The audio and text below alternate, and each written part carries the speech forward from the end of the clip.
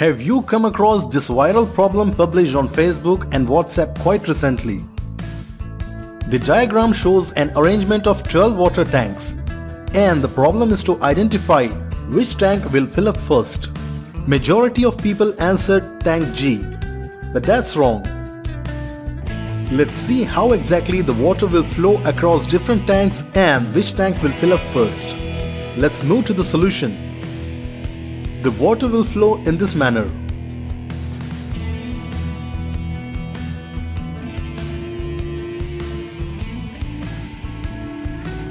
So here is the first trap. The outlet from tank C to tank D is blocked. So there is no chance for the tank G to win the contest. Let's continue.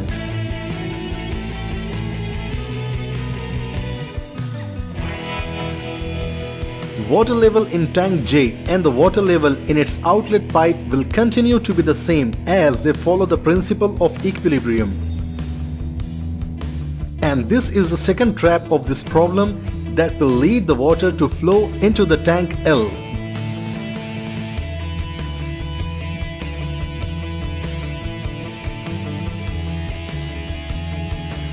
Here comes the third trap.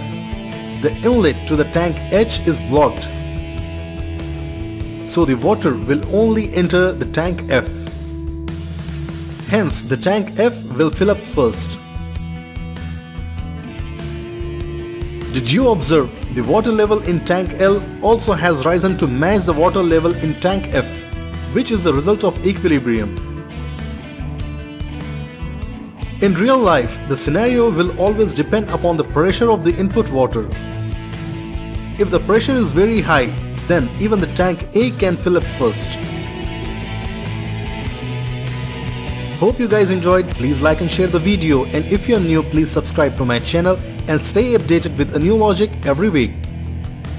Till then, give a try to these challenges. Also check out interview puzzles on my channel Logically Yours.